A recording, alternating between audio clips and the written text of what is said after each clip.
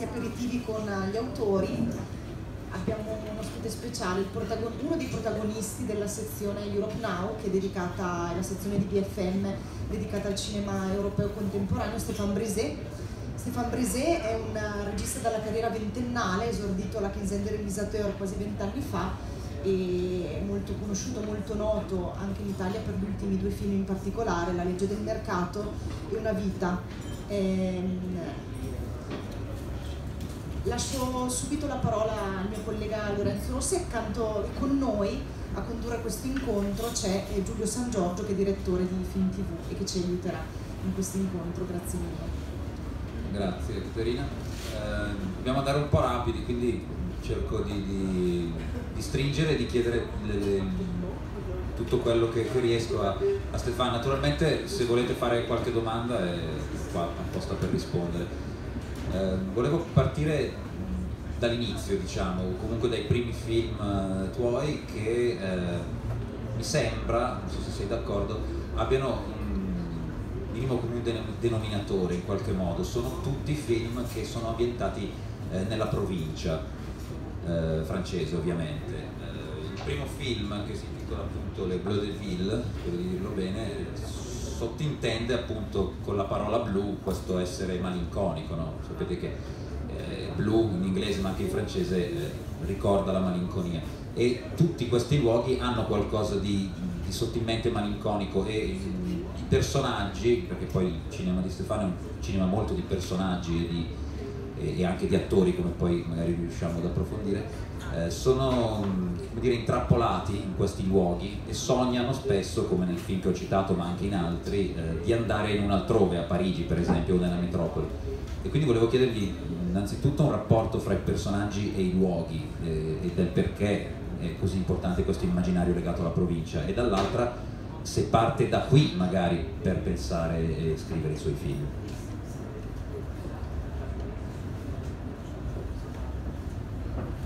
Euh, D'abord, merci d'être euh, ici alors qu'il doit y avoir la projection d'un film très intéressant euh, à côté.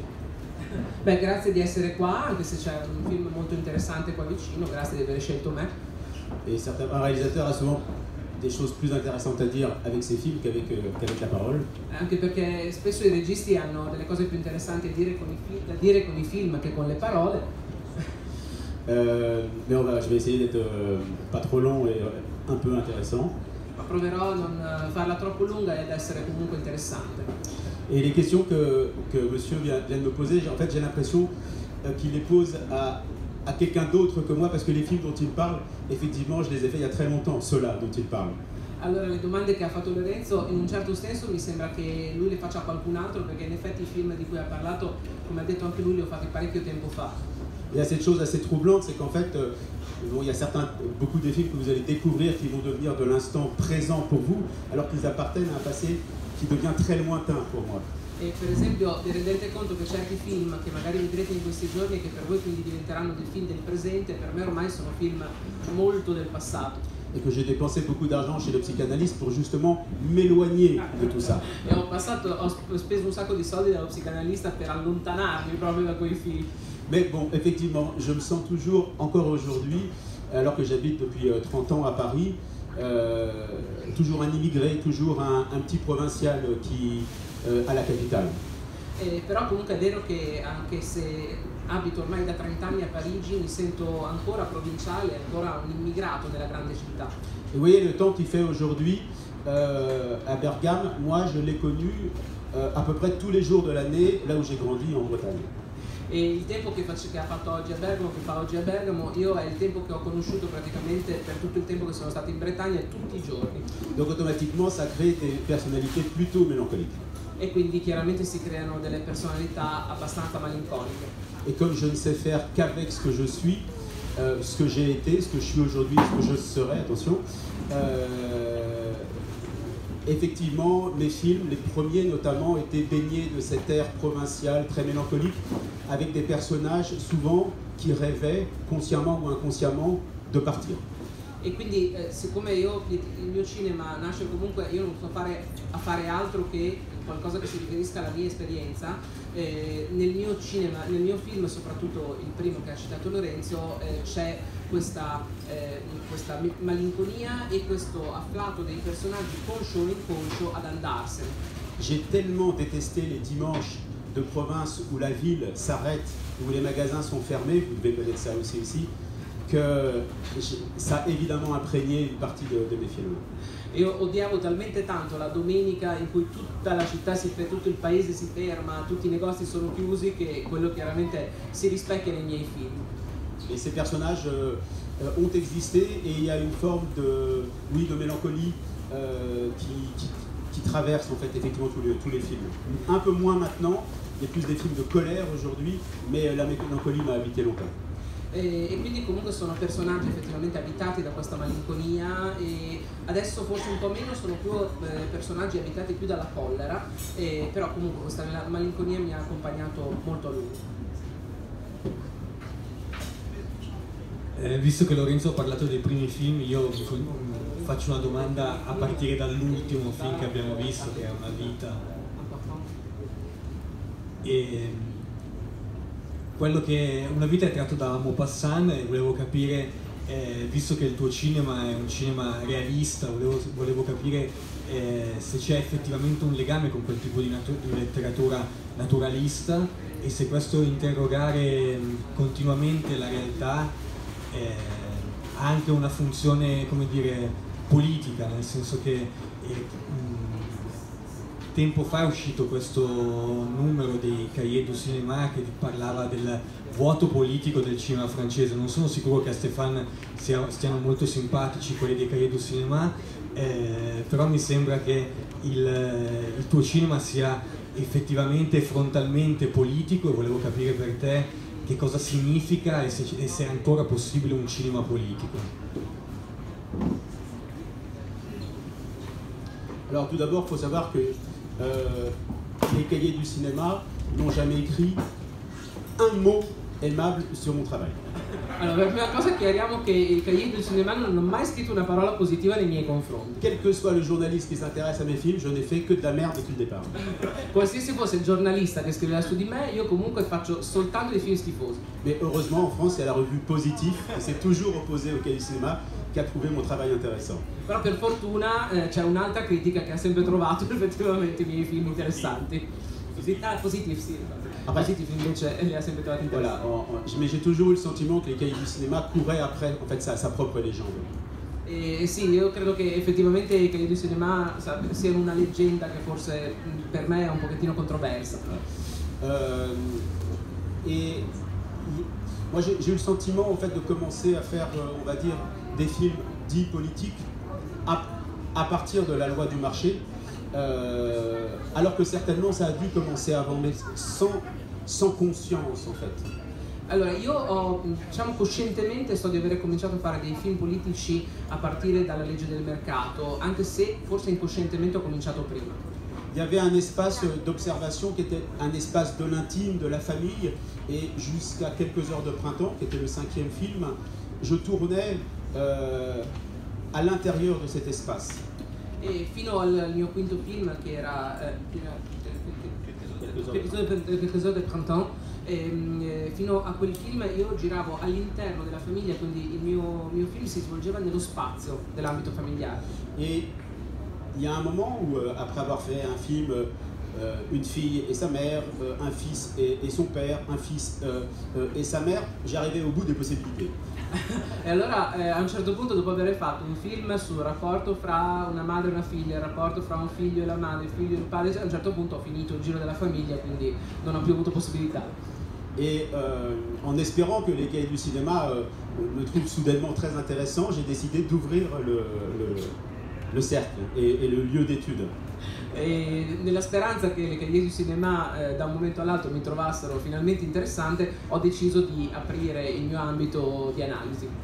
Non, sérieusement, en fait, il y a quelque chose aussi que, quelque chose qui s'est heureusement euh, euh, apaisé à l'intérieur de mon petit moi euh, et qui m'a permis en fait de confronter, c'est quelque chose que je cherchais à faire depuis très très longtemps, de confronter enfin euh, un individu avec le monde qui l'entoure Comment les deux interagissent l'un avec l'autre E, no, in realtà il, il fatto è che probabilmente sono riuscito a fare pace dentro di me con qualche cosa e che volevo esprimere da molto tempo, cioè eh, il rapporto di un individuo con il mondo che lo circonda.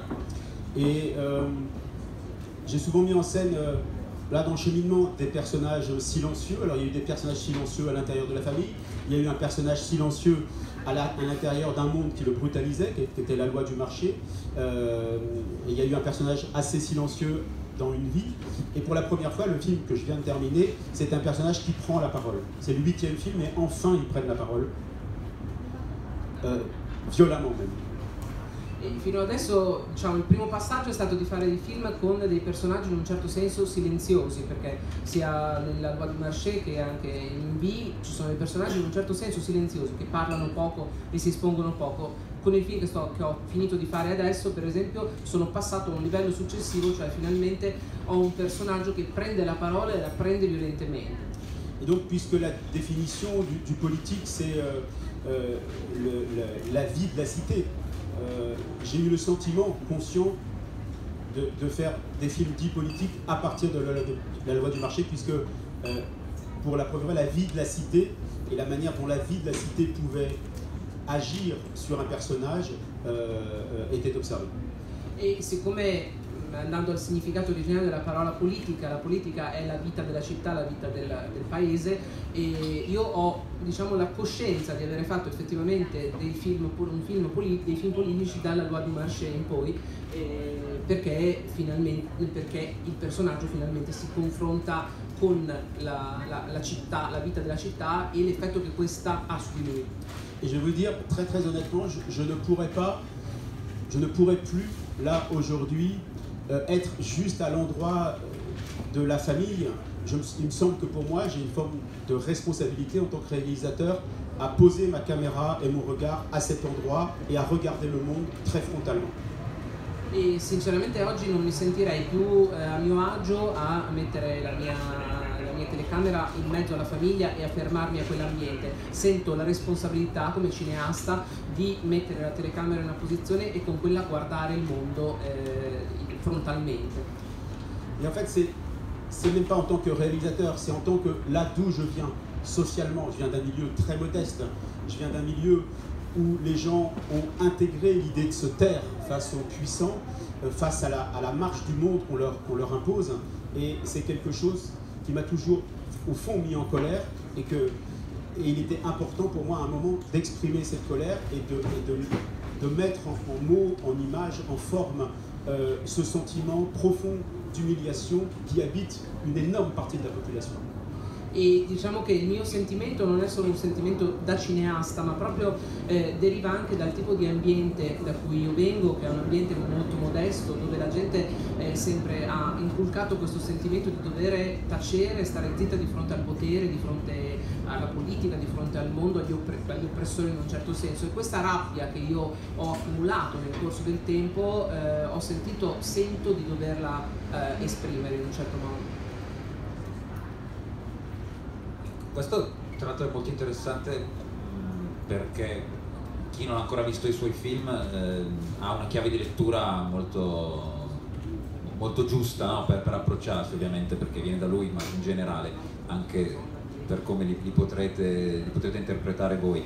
Ma su questa cosa che diceva alla fine, ehm, che può essere una- uno sguardo suo politico, eh, che, che è quello che ha spiegato, ma mi sembra eh, che la, la politica venga fuori soprattutto dal rapporto in cui lui illustra il lavoro. Il lavoro è una delle parole chiave del, secondo me del suo cinema, perché La Loi du Marché è un film che parla di lavoro, eh, lo fa in maniera esplicita, ma in tutti anche i suoi film precedenti c'è sempre eh, questo, mh, questo argomento no, de- del lavoro che viene fuori in tanti modi diversi, come eh, sfruttamento, come ricerca di, di- di- di affermarsi e soprattutto credo che, che la parola che mi viene in mente più di tutte è proprio quella, quella di dignità e, e- lì sta credo il messaggio politico.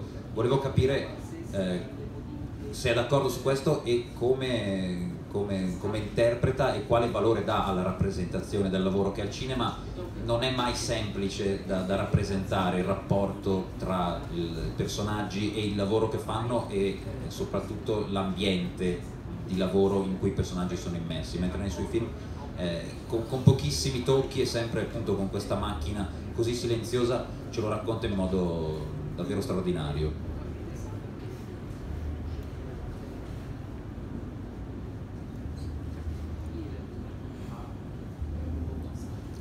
Alors pendant que vous me posez la question, je viens de me rendre compte que j'ai mis mon t-shirt à l'envers ce matin.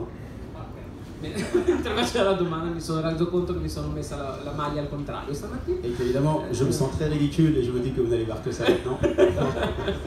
Evidentemente però non mi, non mi sentivo ridicolo perché ho visto solo adesso. Mais euh, la, la, question sur le travail est, est, elle est importante et en fait, moi j'ai le sentiment que, euh, que le cinéma français de fait est un cinéma assez bourgeois et qui a euh, ces dernières années, enfin ces longues dernières années, peu mis euh, le, le, la représentation du travail au cœur de, au cœur de l'image. Allora, io in effetti penso che il, il, cinema francese sia in un certo senso un cinema un po' troppo borghese, che in effetti soprattutto negli ultimi anni ha, messo in, ha preso come, tema, come tematica il lavoro un po' troppo poco. Euh, et j'ai toujours eu le souci effectivement de, de, positionner socialement mes personnages. Ils se sont souvent positionnés euh, dans des milieux modestes et à l'endroit de leur travail, j'ai toujours tenu euh, à être extrêmement précis, à être extrêmement documenté, moi, et donc devenir extrêmement documentaire sur euh, la représentation du travail.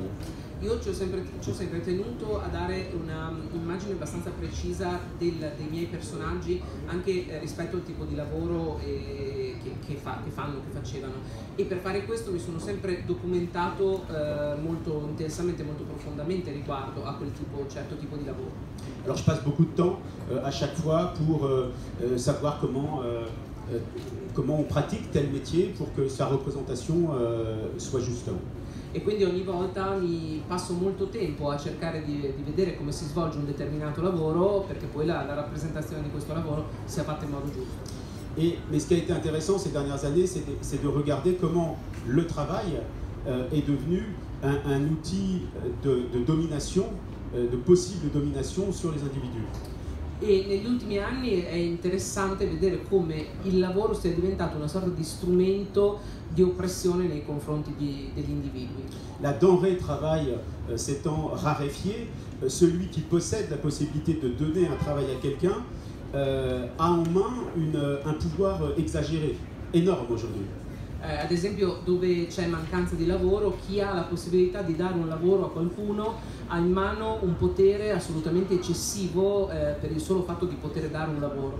Et c'est ce qui est mis euh, très largement en scène dans, dans, la loi du marché, où le personnage se retrouve, après des mois, des mois et des mois euh, euh sans emploi, à devoir accepter un travail dans lequel euh, le, le, travail, en tout cas, on va lui demander euh, de faire quelque chose qui est éthiquement, dans sa propre éthique, très répréhensible. E questo si vede per esempio molto nella legge del mercato dove eh, il personaggio che ha cercato lavoro per mesi e mesi a un certo punto si trova a trovare effettivamente un lavoro dove però è costretto a fare qualcosa che è ehm, reprensibile e che, cioè che, no, che è scorretta eticamente.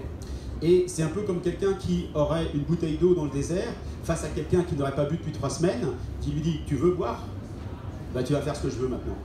E quindi eh, è come se, come se, voi faceste vedere una bottiglia d'acqua a qualcuno che ha sete e, e gli diceste bene allora vuoi bere? Eccoti ho la bottiglia però devi fare quello che voglio io. Et les forces en présence qu'elles soient au moment où on peut proposer du travail au moment où on empêche quelqu'un de travailler un moment où on va retirer le travail à quelqu'un les forces en présence sont extrêmement disproportionnées. Alors c'est évidemment de fait et d'une manière euh, intéressante et opportune, j'ai envie de dire malheureusement, un endroit euh, de travail et d'écriture extrêmement intéressant parce que de fait il y, a des, il y a des situations de dramaturgie extrêmement puissantes.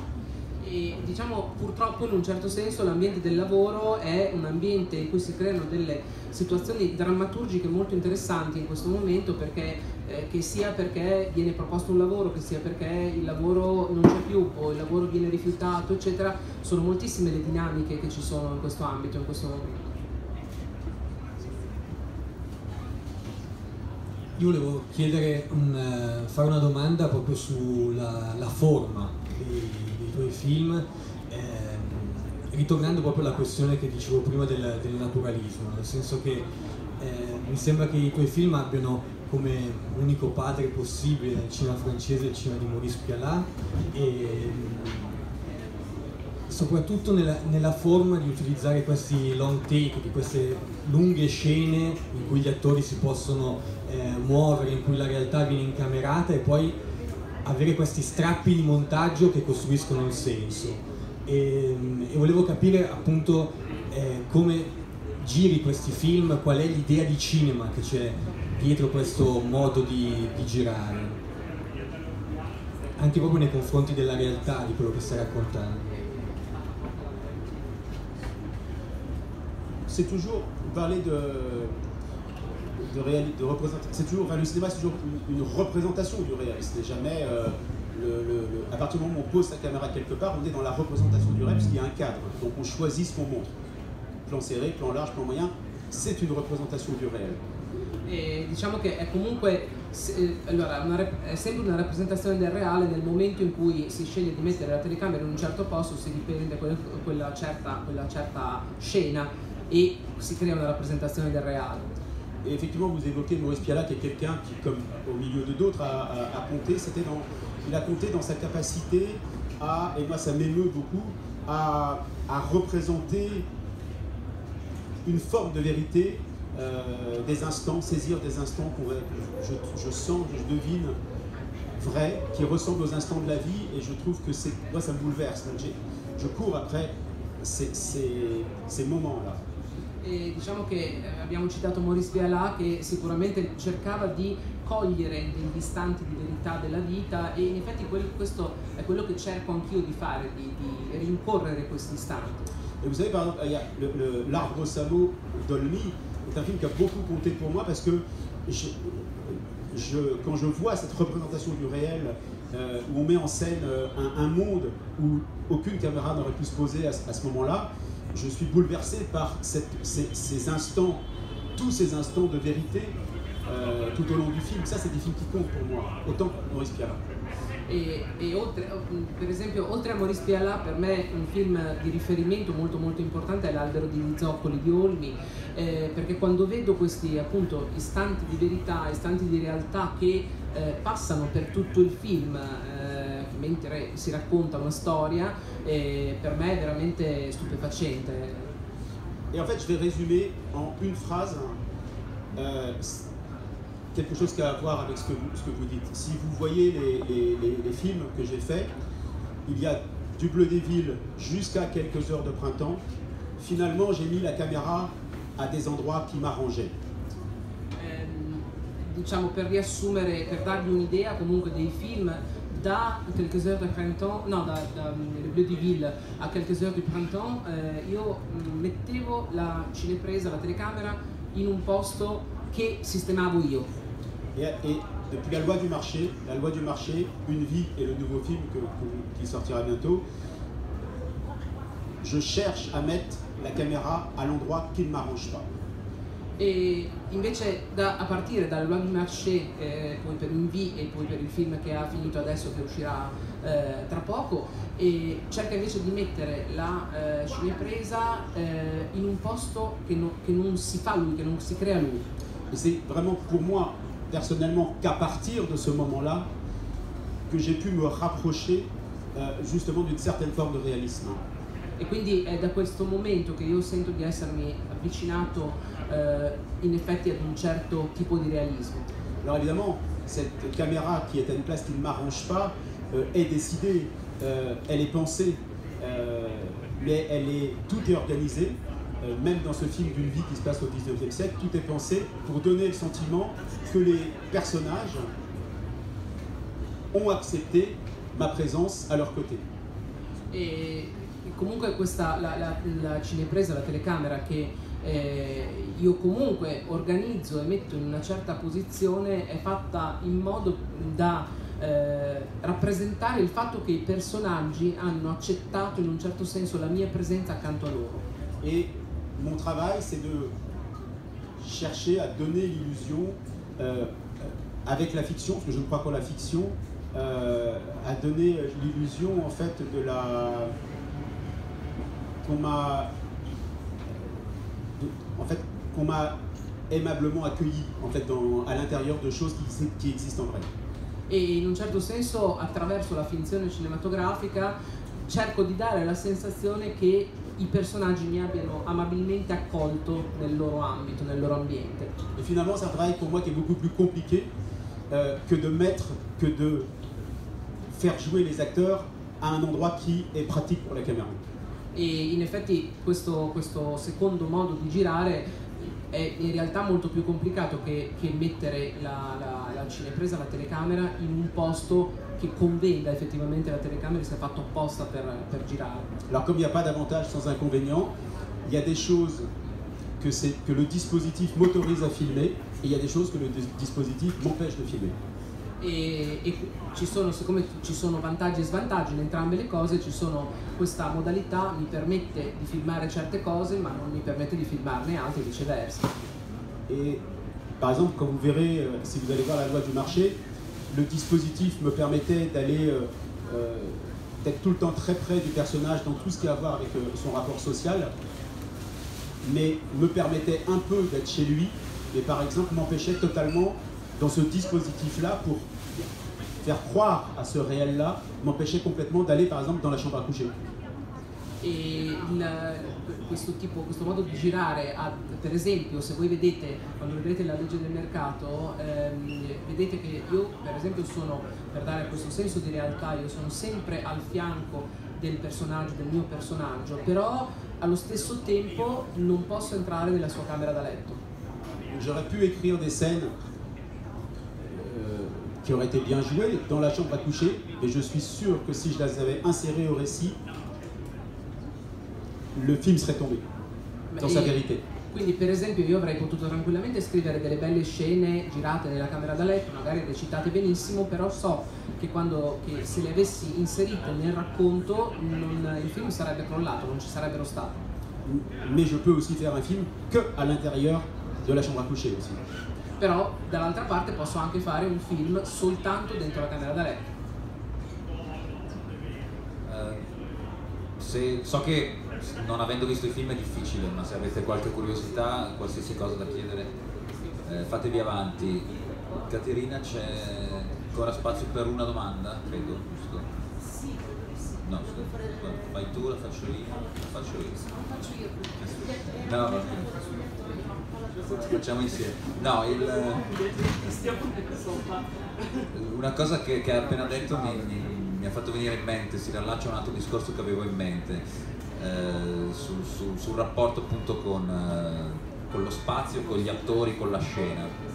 Eh, e anche una cosa che hai detto prima, eh, quando parlavi di, di familiarità, no? di famiglia qualche modo, di- di- giravi film con eh, parenti, madre, padre, figli.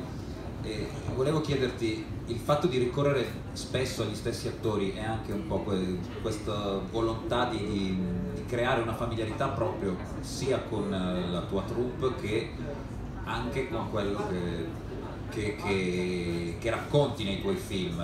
Vincent Landon è, è- è interprete di tre film di, di Stéphane, ma c'è la sua sceneggiatrice, collaboratrice eh, Florence Vignon che è attrice in alcuni film e poi vedrete se vedete tutti i film che vedete tante facce che tornano, in qualche modo anche invecchiano no, col tempo.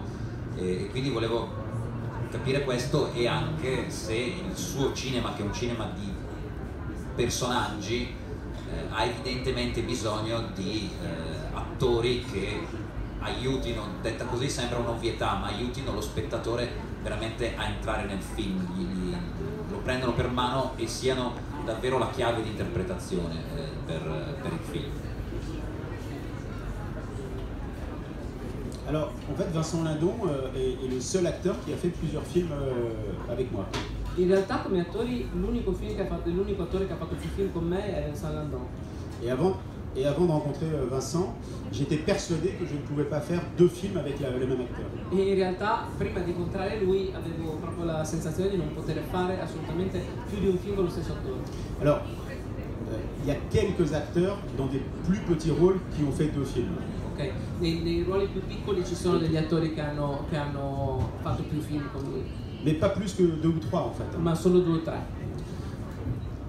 Des. Ah, ah oui, oui, effectivement. Mais en fait, à l'arrivée, il y a deux- euh, trois acteurs qui ont fait deux films avec moi, puis Vincent qui en a fait quatre. Sì, comunque sono, sono due o tre attori che hanno fatto più film con lui e Vincent Landon che ne ha fatti. Et, mais un jour, je rencontre Vincent Lindon, mais je rencontre euh, Stéphane Brisé en acteur. E, Je rencontre, c'est moi, mais en acteur. Ah, ok. Ah, eh, il giorno che ho incontrato Vincent Landon mi sono reso conto che era me, ma in versione attore. Et comme je n'écris finalement que pour moi, et je ne suis pas acteur, eh ben, c'est très pratique de faire des films avec Vincent Lindon. E quindi mi sono reso conto che eh, per me, che non sono attore, poteva essere un'ottima, molto comodo fare dei film con lui. Et comme il accepte de ne pas être trop payé avec moi, E poi, formidable. siccome accetta di non farsi pagare troppo, perfetto. Et, euh, mais- et, et c'est avec lui que j'ai découvert en fait euh, que je pouvais faire des choses très variées avec le même corps, le même visage, euh, et pourtant aller sur des chemins très très différents. Et, vraiment euh, aller dans des, dans, des choses très variées à l'arrivée. In effetti è stato proprio con lui che mi sono reso conto che con lo stesso tipo di attore, con lo stesso tipo di volto, con lo stesso tipo di fisicità e di, e di recitazione potevo fare delle cose molto, anche molto diverse tra di loro. Donc en fait, ma famille euh, d'acteurs, elle elle n'est pas encore très large puisqu'elle se, elle se, rédit- elle se résume globalement à Vincent Lindon. E quindi per adesso la mia famiglia di attori si ferma a Vincent Landon, quindi non è grandissima. Voilà, donc on est un couple qui dure, maintenant c'est un couple qui dure depuis euh, plus de 8 ans, 8-9 ans maintenant, Beh, insomma, siamo una coppia che dura da 8-9 anni, non c'è male. però. ce qui pour moi est une performance euh, E extraordinaire. per me non è niente male. Et je me souviens plus exactement de votre question. J'ai pas été très précis dans ma réponse. Dicevo che gli attori sono la, la chiave d'accesso al film, i personaggi, e quindi servono degli attori che... Oui, mais c'est la- en fait, la question me semble étrange parce que euh, quel film n'est pas porté par un personnage fort et par un acteur puissant pour incarner ce, ce- ce personnage? In effetti la domanda mi sembra giusto un po' strana perché in effetti quale film non è portato eh, avanti da un grosso attore, da un grosso personaggio? Même Bambi, euh, le personnage euh, est fort. Anche, anche in Bambi il personaggio è molto forte, in effetti. Voilà, moi je. C'est vrai que je, je- je pars euh, d'une intuition, je, pars, je ne pars jamais par exemple d'un d'un propos Je pars toujours, il y a toujours l'idée, une idée euh, d'un concept, euh, d'une question, d'un questionnement, et qui est très vite incarné par quelqu'un, et finalement toutes les questions vont passer par le prisme de cette personne. E diciamo che io non parto mai da, da un proposito, da, da- già da un'idea politica per esempio, Eh, parto da un'idea che però molto, molto velocemente viene incarnata da un personaggio, allora a quel punto la costruisco attorno a quel personaggio. Mais comme j'ai assez peu d'imagination, cette personne sera assez proche de moi. E siccome ho molta poca immaginazione, questo- questa persona spesso è molto vicina a me. Mais quand vous n'avez pas beaucoup d'imagination, il faut essayer d'avoir un bon sens de l'observation. E però se non si ha molta immaginazione bisogna avere un ottimo senso di di osservazione Voilà, pour, pour réussir à faire un film d'au moins une heure et demie. per riuscire, per riuscire a fare un film di almeno un'ora e mezza.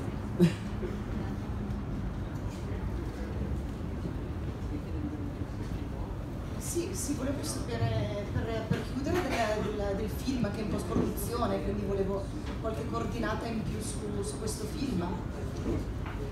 Purtroppo lo pot- lo potremo vedere, però visto che sei qua, magari puoi dirci qualcosa in più. Euh, c'est un film euh, avec Vincent Lindon. È un film con Vincent Landon Et, euh, et pour la deuxième fois, Vincent Lindon face à des acteurs, enfin qui joue avec des acteurs non professionnels. e per la seconda volta Vincent Landon recita insieme ad attori non professionisti, Euh, et dans une vie aussi, il y avait quand même des acteurs non professionnels. che peraltro c'erano attori non professionisti anche in una vita, in un. Et ça aussi, c'est quelque chose d'important dans, dans mon travail, c'est que depuis la loi du marché, j'aime la confrontation entre un acteur ultra expérimenté et un ensemble d'acteurs non professionnels. Je trouve que la, la rencontre est extrêmement intéressante pour la représentation du réel aussi. E questo è un discorso, tornando leggermente al discorso degli attori, eh, questa è una cosa che per me è molto molto importante, mi piace molto il confronto fra un attore di, di grande livello e degli attori non professionisti, è una cosa che secondo me per la rappresentazione della realtà è un, una bellissimo, un bellissimo contrasto. Et euh, c'est l'histoire en fait de- d'une usine, d'une très grosse usine de plus de 1000 employés euh, qui travaille euh, dans la, qui exerce dans la sous-traitance automobile. E la, stor- la storia del film si svolge in questa azienda che eh, si occupa di, di- di parti meccaniche per automobili Et chose importante, c'est une usine qui rapporte pas mal d'argent. ed è un'azienda che eh, fa molti soldi effettivamente con un ottimo fatturato. Et malgré cette situation pourtant euh, euh, florissante, une décision est prise euh, en Allemagne par euh, le PDG du groupe international qui possède cette usine. La décision est prise de fermer cette usine malgré la promesse de l'entreprise de protéger les emplois pendant un certain nombre d'années. Promesse qu'ils ne tiennent pas et la décision est prise de fermer l'usine. E nonostante la- l'azienda effettivamente funzioni bene, vada bene, eh, viene presa la decisione dall'alto, dalla Germania, di chiudere eh, l'azienda, nonostante la promessa fatta eh, e- e- viene, eh, appunto, vengono meno la promessa di mantenere i posti di lavoro. Et les salariés, tous ensemble, les 1000, les 1100 salariés, euh, emmenés par le leader syndical, qui est Vincent Lindon, disent non, vous ne respectez pas votre parole, et ils décident de bloquer l'usine, la, la production, le stock, pour essayer de créer un espace de dialogue et euh, essayer de garder leurs emplois. E i- tutti gli operai e cappeggiati da questo leader sindacale, da questo sindacalista che è appunto Vincent Landon, eh, bloccano la produzione e bloccano appunto l'azienda, la fabbrica eh, per cercare di creare un dialogo e dicendo no, non potete fare così perché non, non mantenete le vostre promesse. Et le film s'appelle En guerre, Eh, il film si chiama In guerra. Qui raconte effectivement certainement la, la guerre que vont mener les salariés à, à leur, à leur, euh, au patron de l'entreprise, mais qui si- signifie très largement aussi la guerre que mènent les patrons de ces grands groupes aux ouvriers qui ont pourtant participé à leur richesse. E, e chiaramente questo titolo eh, si riferisce alla guerra che fanno eh, gli operai e gli, impie- i- sì, gli impiegati, i lavoratori eh, contro l'azienda, ma anche quella dell'azienda contro i lavoratori che hanno partecipato al suo arricchimento, alla sua ricchezza. Mille. Io nel ringraziare Stéphane Brisé voglio ricordare al pubblico le proiezioni di stasera alle 22.30 ci sarà la proiezione del film Je ne suis pas là pour être aimé alla presenza del regista e anche domani pomeriggio alle 14.30 ci sarà eh, il film Quelques heures da printemps, non so parlare molto bene. Eh, quelques heures printemps. Ce soir, euh, ce soir, E ringrazio con un applauso Stéphane Brisé.